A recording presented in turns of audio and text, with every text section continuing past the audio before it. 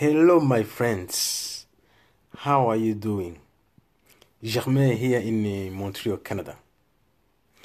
It's been a while since we talked, and I promised to talk about smoking. I will talk about how I started, why I was smoking, and how I stopped smoking once for all.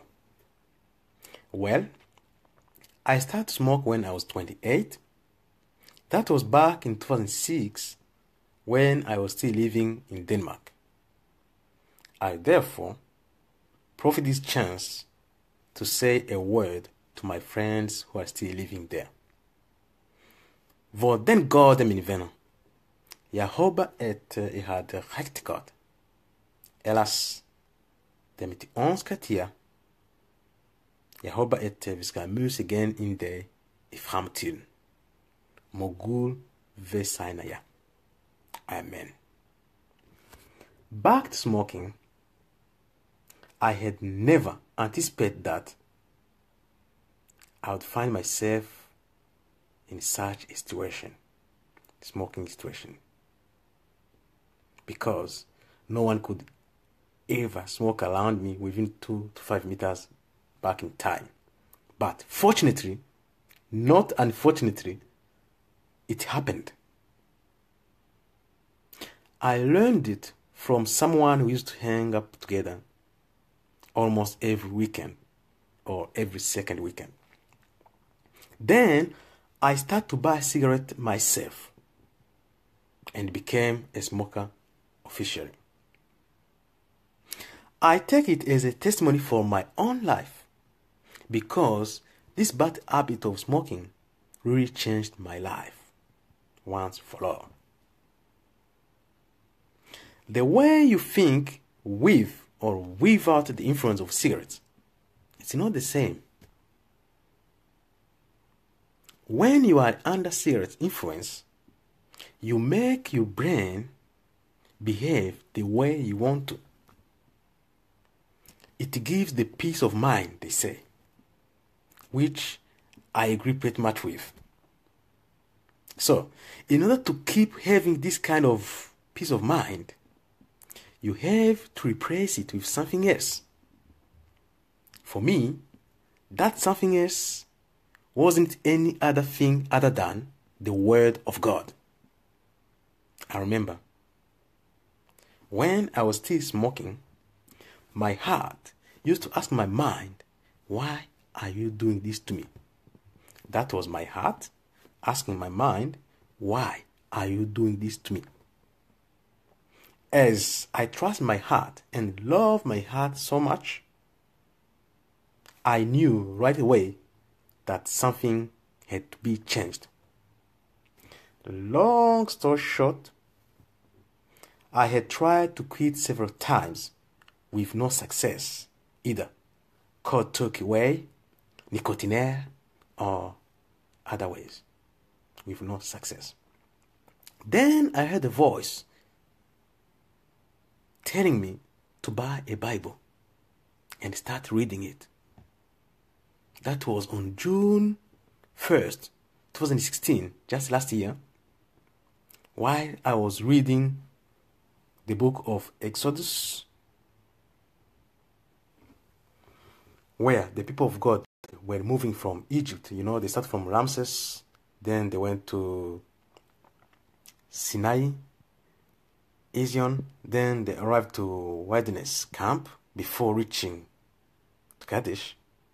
They set up the tent of God, and God looked to the tent, was very, very, very happy, and said, The work is done. So when God said, The work is done, by looking to the tent, in my mind, I received cigarette is done. So God said, The work is done, and received cigarette is done. So I know if you are still smoking, I know you know it's bad and you want to quit. I know this. I've been there. I've done it. I've seen it. I lived it and survived it. You too can start slowly, slowly, but surely you can stop smoking. It's possible. Sure, you can. I used to tell myself, look at those fellow smokers.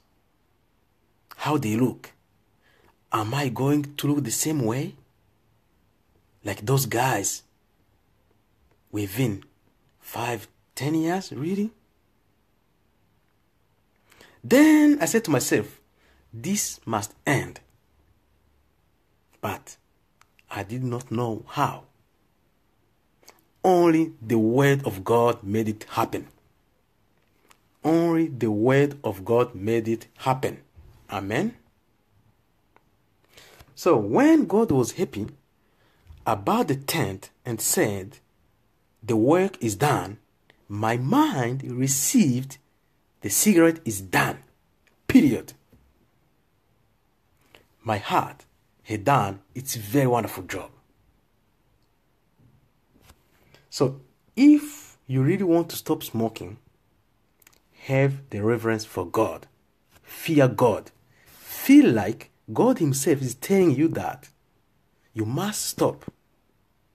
What you are doing to yourself is not good. Think in this way. So, that's what I did. That's what I made my heart to do to my brain. And God said, Work is done. The mind received, cigarette is done. So ever since, I have no need for cigarettes. I don't want cigarettes. And I don't think about cigarettes at all. I only think about God, my Savior. I only think about God, my Savior. That's why you see me around posting tirelessly about God because I know how good God has been to me. All right? So you too can live without smoking. Just surrender to God and you're gonna stop smoking for sure. I promise you this. You will feel way much better than when smoking. All right? Think about it. God bless you. And uh, bye for now. Amen. Shalom.